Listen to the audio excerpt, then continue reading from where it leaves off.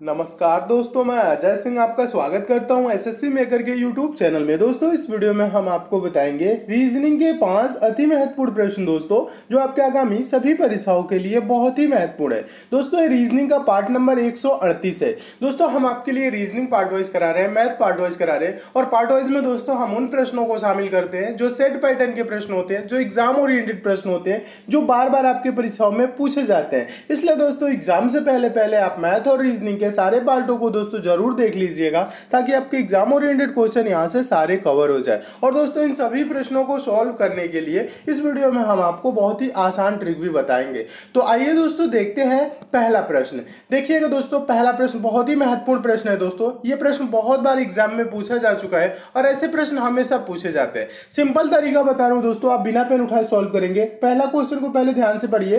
Question ये कह रहा है दोस्तों, यदि छह गुने तीन प्लस पाँच बराबर दस। और आगे कह रहा है दोस्तों, आठ गुने दो प्लस पाँच बराबर बीस हो तो चार गुने दो प्लस आठ बराबर क्या होगा?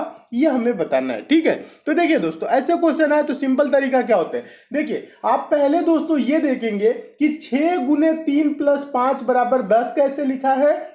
आठ गुने दो प्लस पाँच बराबर बीस कैसे लिखा है? जैसे दोस्तों यहाँ पे दस आया है, जैसे यहाँ पे बीस आया है, उसी प्रकार से दोस्तों इस प्रश्नवाचक चिन्ह पे हम वो संख्या लाएँगे, ठीक है? तो देखिए, ज़्यादा कुछ नहीं करना है, आप बस ये कर देखेंगे, छह, तीन, पाँच को दोस्तों हम क्या करें कि दस हो जाए? तो देखिए, ये आप ये नहीं सोचेंगे कि यहाँ गुने दिया है तो गुने ही करेंगे, प्लस दिया है तो प्लस ही करेंगे, नहीं, इसकी जगह पे हम कुछ भी कर सकते हैं, ठीक है? अगर मैं बोलू तो गुना है तो गुना करिए तो छह अठारह और अठारह में दोस्तों पाँच जोड़ेंगे तो तेईस होगा, लेकिन यहाँ पे तो दस दिया है। ऐसे नहीं होगा। आपको क्या करना है दोस्तों? अपना थोड़ा सा दिमाग लगाना है। कहने का मतलब है दोस्तों, यहाँ देखिए, सिंपल तरीका क्या होगा? अगर मैं बोलूँ दोस्तों, छह और पाँच को आपस में गुना कर दीजिए। छह गुने पाँच करेंगे तो दोस्तों क्या होगा? तीस। और तीस से क्या करिए? ये जो तीन है ना, इससे भाग कर दीजिए। तो कितने बार में जाएगा दोस्तों? दस बार में। कितने बार में जाएगा? तीन दहा में तीस होता है। देखिए, दस यहाँ पे दिया हुआ है। ठीक, इसी प्रकार से आगे वाले को दोस्तों देखिएगा। आठ गुने पाँच करेंगे तो क्या होगा दोस्तों? चालीस होगा। और इस चालीस को दोस्तों, इस जो जो बीच में दो है ना, इससे भाग कर दीजिए। तो क्या होगा दोस्तों? दो से कितने बार में? दो दुना के चार, बीस बार में। यानी क्या होगा दोस्तों? बीस होगा। देखिए बराबर में क्या होगा? बीस दिया है। देखिए बराबर में बीस दिया है ना? चलिए, इसी प्रकार से जो प्रश्न पूछ रहे हैं ना, उसका हम आंसर देंगे। देखिए, कह रहा है, देखिए, ये है, चार गुने क्या करेंगे? आठ करेंगे। चार गुने आठ करेंगे तो क्या होगा दोस्तों? बत्तीस होगा। और बत्तीस को दो से भाग करेंगे तो क्या होगा? सोलह होगा। क्या होगा? सोलह। यानी प्रश्नवाचक चिन्ह पे क्या होगा दोस्तों? सोलह होगा। सोलह देखिए किस ऑप्शन में है। देखेंगे ऑप्शन नंबर पहले में है आपका। ऑप्शन नंबर पहला दोस्तों क्या हो जाएगा? सही हो जाएगा। तो मैं उम्मीद करता हूँ दोस्तों, आप इस प्रश्न को बहुत अच्छे तरीके से समझ गए होंगे और इस टाइप के क्वेश्चन आपके एग्ज़ाम में आएगा। तो आप अच्छे से सॉल्व कर लेंगे। चलिए, अब हम नेक्स्ट क्वेश्चन की ओर चलते हैं। और दोस्तों, हम आपको बता दें लास्ट में हम आपसे एक प्रश्न भी पूछेंगे। प्रश्न टेस्ट के तौर पर रहेगा होमवर्क के तौर पर रहेगा, जिसका आंसर सभी दोस्तों को कमेंट करके बताना है। सारे क्वेश्चन दोस्तों एग्ज़ाम ओरिएंटेड लिए हैं, इसलिए वीडियो को लास्ट तक आप ज़रूर देखिएगा। चलिए, देखते हैं अगला क्वेश्चन दोस्तों, दूसरा क्वेश्चन देखिएगा, काफ़ी इंपॉर्टेंट क्वेश्चन है, पूछा गया प्रश्न है। प्रश्न क्या कह रहे हैं? ध्यान से पढ़िए पहले। प्रश्न कह रहा है, निम्नलिखित संख्या श्रृंखला में लुप्त संख्या की पहचान करें। दोस्तों, यहाँ पे एक संख्या का श्रृंखला चल रहा है और आगे जाएँगे तो यहाँ पे आपको एक प्रश्नवाचक चिन्ह मिलेगा। इसी प्रश्नवाचक चिन्ह पे कौन सी संख्या आएगी, ये आपको बताना है। तो देखिए, जब कभी भी दोस्तों श्रृंखला से रिलेटेड क्वेश्चन आए तो आप सबसे पहले क्या करेंगे, श्रृंखला के संख्याओं को ध्यान से देखेंगे। तो संख्याओं को ध्यान से देखिए, तेईस है, पाँच है, पच्चीस है, सात है, सत्ताईस है, नौ है, इकतीस है, चार है, तिरपन है, आगे प्रश्नवाचक चिन्ह है। तो इसको हम कैसे सॉल्व करेंगे। देखिए, यहाँ पे दो रूल लगता है। एक तो संख्याएँ जब घट बढ़ रही होती है, एक एक संख्या छोड़ के देखते हैं। कहने का मतलब तेईस, दो पच्चीस पच्चीस, दो सत्ताईस और सत्ताईस के बाद देखिए दोस्तों, यहाँ पे क्या हो रहा है? गैप ज़्यादा हो जा रहा है। सत्ताईस के बाद क्या हो जा रहा है दोस्तों? चार का गैप हो जा रहा है। इकतीस के बाद दोस्तों देखेंगे तो यहाँ पे भी गैप ज़्यादा हो रहा है। तो प्रश्न को हम ऐसे न सोच के आप क्या करेंगे? कुछ अलग तरीके से सोचेंगे। देखिएगा, पाँच, दो, सात सात, दो, नौ, फिर नौ के बाद कम हो गया चार। आगे वृद्धि होना चाहिए था, लेकिन कम हो रहा है। जब दोस्तों बराबर ऐसे सीक्वेंस में नहीं चलता है तब तो हम क्या करते हैं, कुछ अलग तरीके से सोचते हैं। अलग तरीके से सोच, कैसे सोचेंगे, हम आपको बता रहे हैं। देखिएगा, ध्यान दीजिएगा। ये तेईस है ना दोस्तों क्या है? तेईस ट्वेंटी थ्री है। ये तेईस किन संख्याओं से मिलकर बना है दोस्तों? दो और तीन। इन दो और तीन को आपस में जोड़ेंगे ऐसे, ठीक है?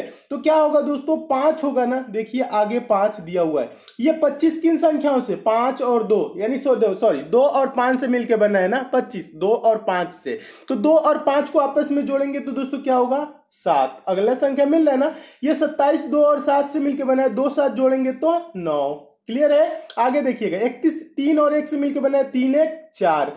तिरपन की संख्या उसमें मिलकर बना है पाँच और तीन। पाँच और तीन जोड़ेंगे तो दोस्तों क्या होगा? आठ होगा। यानी प्रश्नवाचक चिन्ह पे क्या होगा? आठ होगा। देखिए, आठ किस ऑप्शन में? देखेंगे ऑप्शन नंबर सी में। आपका ऑप्शन नंबर सी दोस्तों क्या हो जाएगा? सही हो जाएगा। तो मैं उम्मीद करता हूँ दोस्तों आप इस प्रश्न को भी बहुत अच्छे तरीके से समझ गए होंगे और इस टाइप के भी क्वेश्चन आपके एग्ज़ाम में आएगा तो आप अच्छे से सॉल्व कर लेंगे। चलिए, अब हम नेक्स्ट क्वेश्चन की ओर चलते हैं दोस्तों। अगला क्वेश्चन देखिएगा और एक चीज़ और बता दू।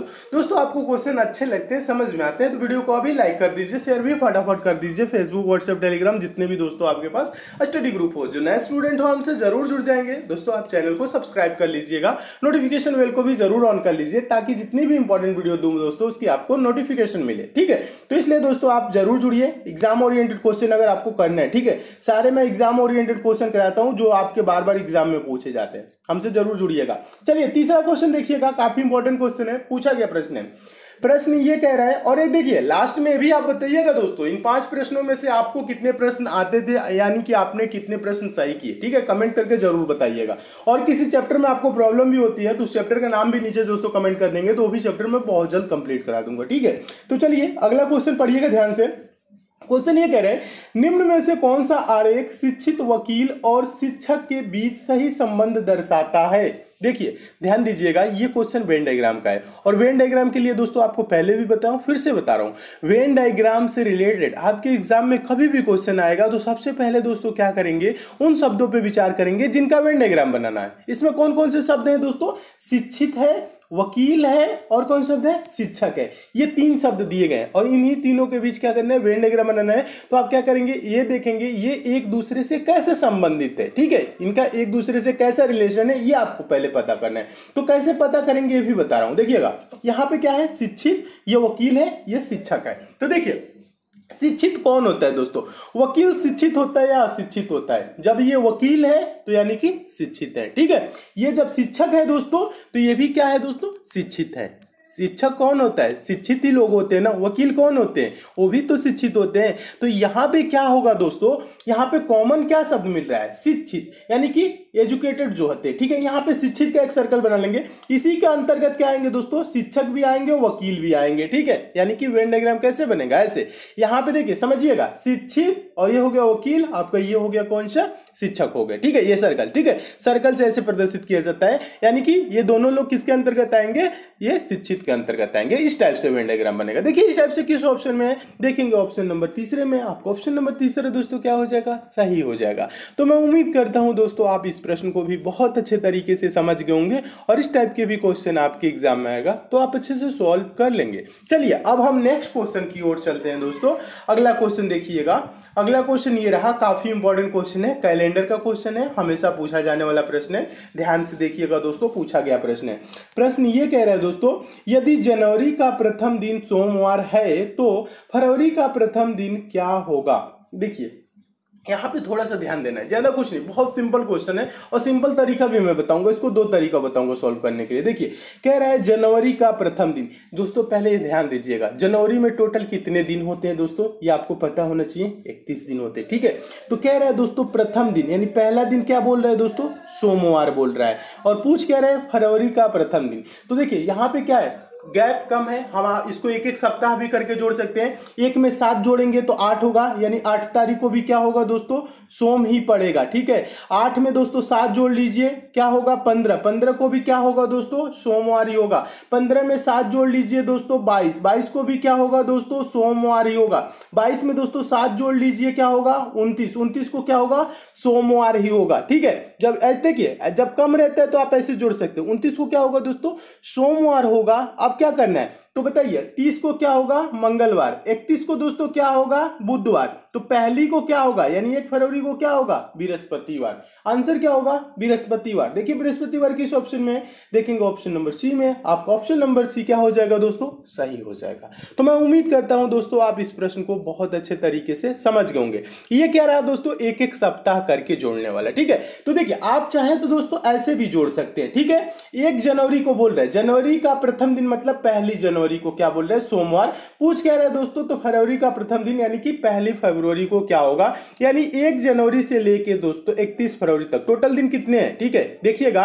यहाँ पे क्या है दोस्तों? इकतीस दिन है और वहाँ पे पूछ रहा है क्या? एक फरवरी को पूछ रहा है। ठीक है टोटल इकतीसवें दिन ये पूछ रहा है। कहने का मतलब ये है, ध्यान दीजिएगा। एक जनवरी को तो बोल दिया है सोमवार है और क्या पूछ रहे हैं? एक फरवरी को। यानी टोटल दिन कितने हो रहे हैं दोस्तों? इकतीस दिन का यहाँ पे गैप हो रहा है। ठीक है, ध्यान दीजिएगा। इकतीसवें दिन पूछ रहा है। पहली को तो बता दिया है और उधर पहली को पूछ रहा है। तो क्या करेंगे? इकतीस को दोस्तों आप सात से भाग करेंगे।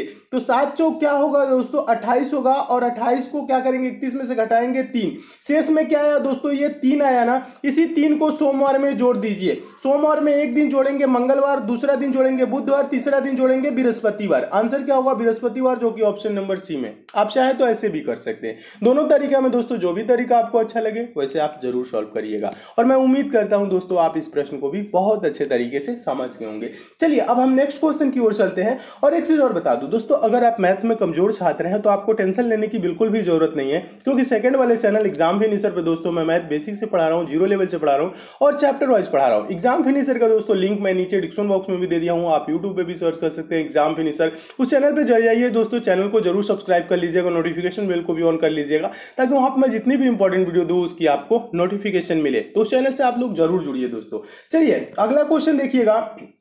पांचवा क्वेश्चन पांचवा क्वेश्चन हम आपको बता दें दोस्तों, ये मोस्ट इंपॉर्टेंट क्वेश्चन है। देखिएगा, ये बहुत बार एग्ज़ाम में पूछे जा चुका है और ऐसे प्रश्न हमेशा पूछे जाते हैं। सिंपल तरीका बताऊँगा, पहले क्वेश्चन को ध्यान से पढ़िएगा दोस्तों। क्या है दोस्तों, दिए गए विकल्पों में से संबंधित संख्या को चुनिए। संबंधित संख्या कहने का मतलब है सिंपल भाषा में समझा दू। ये दोस्तों बी सी डी को अठारह लिखा है। उसी प्रकार से आई जे के ठीक है? आई जे के को हम क्या लिखेंगे प्रश्नवाची चिन्ह पे? क्या होगा, ये हमें बताना है। तो देखिए, ऐसे क्वेश्चन कभी भी आए ना, जब यहाँ पे अक्षरों को अंकों में लिखे। तो आप क्या करेंगे? नंबरिंग करेंगे। नंबरिंग कहने का मतलब है दोस्तों, ये बी दोस्तों कितने नंबर पे आता है? दो नंबर पे। ये सी दोस्तों कितने पे आता है? तीन पे। ये डी कितने पे आता है? चार पे आता है। तो बताइए दो, तीन, चार को हम क्या करें कि ये अठारह हो जाए? तो ध्यान दीजिएगा। दो, तीन, चार, जोड़ने पे तो होगा नहीं, घटाने पे होगा नहीं, गुना करेंगे तो दो, तीन छः छः चौ को चौबीस हो जाएगा। थोड़ा सा आगे पीछे गुना करिएगा दोस्तों या जोड़िएगा।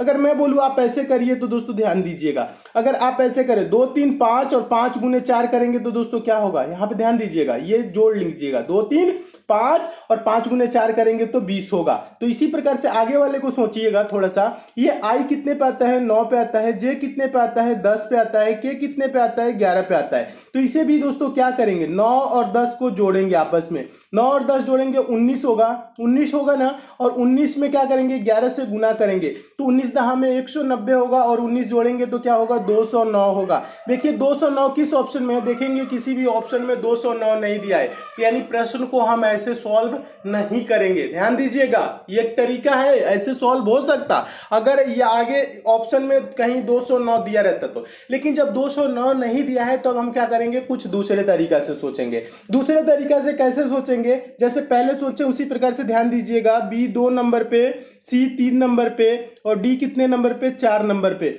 अब देखिए, ध्यान दीजिएगा। और ये आपका आई कितने पे है? नौ पे है। जे दोस्तों कितने पे है? दस पे है। और आपका ये के कितने पे? है ग्यारह पे है। तो ध्यान दीजिएगा थोड़ा सा। अगर मैं बोलूँ इन तीनों संख्याओं को आपस में जोड़िए। दो, तीन, पाँच पाँच, चार, नौ। जोड़ने पर क्या हुआ? नौ। ऊपर क्या लिखा है? अठारह लिखा है। तो हम इसको क्या करेंगे? दो गुना कर देंगे तो क्या हो जाएगा? अठारह। ऊपर अठारह दिया है तो हम क्या किए? तीनों संख्याओं को जोड़ के दो गुना कर दिए, आंसर आ रहा है। चलिए, आगे देखिएगा, आगे इसी प्रकार से करेंगे। नौ प्लस दस प्लस ग्यारह जोड़ेंगे। नौ दस जोड़ेंगे, उन्नीस होगा, उन्नीस में ग्यारह जोड़ेंगे तो दोस्तों क्या होगा? तीस। तीस का क्या करेंगे दोस्तों? दो गुना कर देंगे। ध्यान दीजिएगा, तीस का क्या करेंगे? दो गुना करेंगे तो होगा साठ। देखिए, साठ किसी ऑप्शन में है, देखेंगे हाँ ऑप्शन नंबर बी में है तो आपका ऑप्शन नंबर बी क्या हो जाएगा? सही हो जाएगा। यानी प्रश्नवाचक चिन्ह पे क्या होगा दोस्तों? साठ होगा। तो मैं उम्मीद करता हूँ दोस्तों, आप इस प्रश्न को भी बहुत अच्छे तरीके से समझ गए होंगे और इस टाइप के भी क्वेश्चन आपके एग्ज़ाम में आएगा तो आप अच्छे से सॉल्व कर लेंगे। ठीक है? चलिए, अब हम नेक्स्ट क्वेश्चन की ओर चलते हैं और एक चीज़ और बता दू क्वेश्चन आपको अच्छे लगे हैं। समझ में आए हैं। तो वीडियो को बिना लाइक शेयर किए ना जाइएगा दोस्तों। आपके एक लाइक और शेयर से दोस्तों काफ़ी मोटिवेशन मिलता है दोस्तों कि आपको क्वेश्चन समझ में आ रहे हैं। किसी भी टॉपिक में आपको प्रॉब्लम भी होती है तो आप नीचे ज़रूर कमेंट किया करिए। वो भी चैप्टर मैं बहुत जल्द कंप्लीट करा दूँगा। चलिएगा, अगला क्वेश्चन देखिएगा। होमवर्क का क्वेश्चन है टेस्ट का क्वेश्चन है। दोस्तों, ये आज का प्रश्न है। इसका आंसर सभी दोस्तों को कमेंट करके बताना है। इसका सही आंसर क्या होगा जिन दोस्तों को नहीं पता है। और रीजनिंग का पार्ट नंबर एक सौ सैंतीस देख लेंगे। पार्ट नंबर एक सौ सैंतीस का क्वेश्चन नंबर पांचवा है। पार्ट नंबर एक में दोस्तों इसको फुल डिटेल में मैं समझाया हूँ इस टाइप के प्रश्नों को कैसे बिना पेन उठाए सेकंडों में सॉल्व किया जाता है। पार्ट नंबर एक आपको मिलेगा कहाँ? दोस्तों, इसका लिंक यहाँ ऊपर आई बटन पे दे देना दोस्तों। आई बटन पे क्लिक करके आप डायरेक्ट पार्ट नंबर एक देख सकते हैं। एक चीज़ और बता दू दोस्तों, जो नए स्टूडेंट है, उनके लिए बता दू दोस्तों, ये पंचम पब्लिशर की ई बुक है। आपके आगामी सभी परीक्षाओं के लिए इंपॉर्टेंट है। चाहे आप दोस्तों रेलवे की एग्ज़ाम देंगे एसएससी की एग्ज़ाम देंगे, या अगर आप दोस्तों कोई सा भी गवर्नमेंट एग्ज़ाम देंगे। दोस्तों, इस ई बुक को आप लेंगे कहाँ से दोस्तों? इसका लिंक मैं दोस्तों, मैं नीचे डिस्क्रिप्शन बॉक्स में दे दिया उस लिंक पर क्लिक करके इस ई बुक को आप ज़रूर डाउनलोड कर लीजिएगा। अगर आपको डाउनलोडिंग या पेमेंट से किसी प्रकार की दोस्तों समस्या भी होती है तो ये पंचम पब्लिशर का कस्टमर केयर नंबर है। इस दोस्तों, इस नंबर पर आप कॉल करके बात भी कर सकते हैं। इस ई को दोस्तों, मैं खुद देखा हूँ, इसमें जो प्रश्न दिए गए हैं, बहुत ही इंपॉर्टेंट दिए गए हैं, जो बार बार आपकी एग्ज़ाम में पूछे जाते हैं। इसलिए दोस्तों एग्ज़ाम से पहले पहले इस ई को एक बार लेके आप ज़रूर पढ़ लीजिएगा। और ये वीडियो दोस्तों, आपको कैसी लगी कमेंट करके हमें ज़रूर बताइएगा। अच्छी लगी हो तो लाइक शेयर कर दीजिएगा। और चैनल पर नए हैं दोस्तों चैनल को सब्सक्राइब कर लीजिए। नोटिफिकेशन बेल को ऑन कर लीजिए और जुड़ जाइए हमसे, ताकि आपको डेली सारे वीडियोज़ की नोटिफिकेशन मिले। तो मिलते हैं दोस्तों अगले वीडियो में और भी इंपॉर्टेंट प्रश्नों के साथ। तब तक के लिए दोस्तों धन्यवाद।